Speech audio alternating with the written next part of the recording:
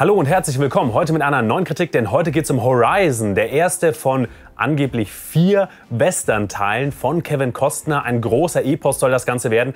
Was der erste jetzt kann, das erfahrt ihr jetzt. Lasst gleich schon mal ein Abo da, aktiviert die Glocke, damit ihr keine weiteren Videos mehr verpasst. Los geht's! Keine Armee dieser Welt kann diese Planwagen aufhalten.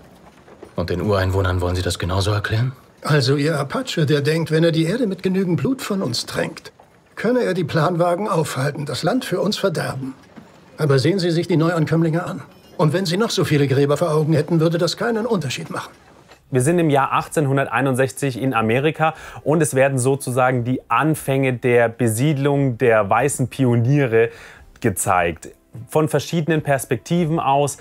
Auf der einen Seite geht es darum, dass unter anderem das Gebiet der Apachen besetzt oder besiedelt werden soll und die sich natürlich sehr vehement dagegen wehren. Auf der anderen Seite haben wir aber auch so einzelne persönliche Schicksale, die hier so nach und nach erzählt werden. Und mit drei Stunden bekommt jede dieser Geschichte schon gut Raum. Allerdings wirkt das Ganze eher so wie eine Vorbereitung, dass da noch mehr kommen könnte.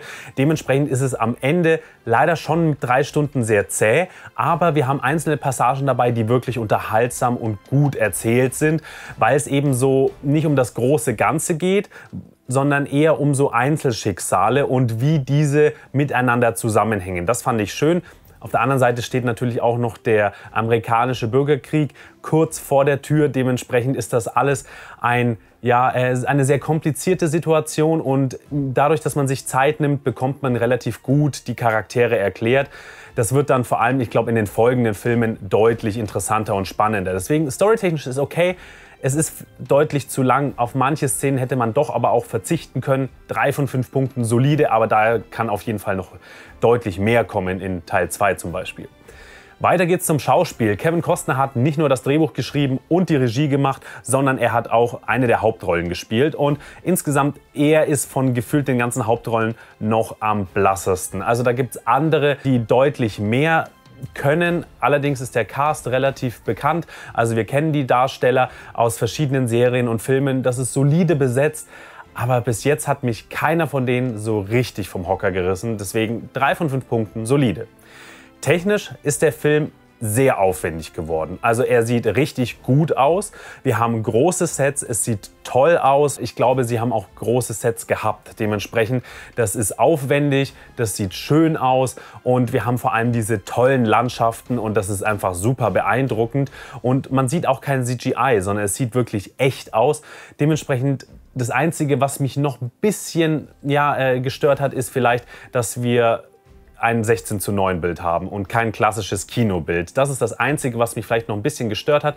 Sonst insgesamt ist das ein sehr schöner Film, 4 von 5 Punkten.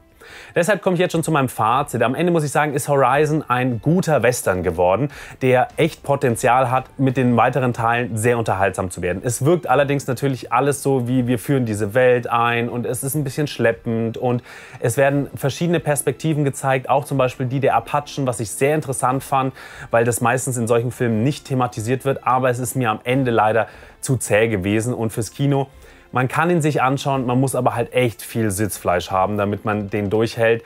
Er ist solide, 3 von 5 Punkten, auf keinen Fall ein schlechter Film. Insgesamt sind wir 13 von 20 Punkten. Er hat auf jeden Fall einige schöne Schauwerte. Dafür kann man sich den auf jeden Fall anschauen. Das war's weit mit dem Video. Ich hoffe, es hat euch gefallen. Wenn ja, lasst gerne einen Daumen hoch da, schaut auf dem Kanal vorbei, aktiviert die Glocke. In diesem Sinne, bis demnächst und immer schön weiterzocken. Ciao!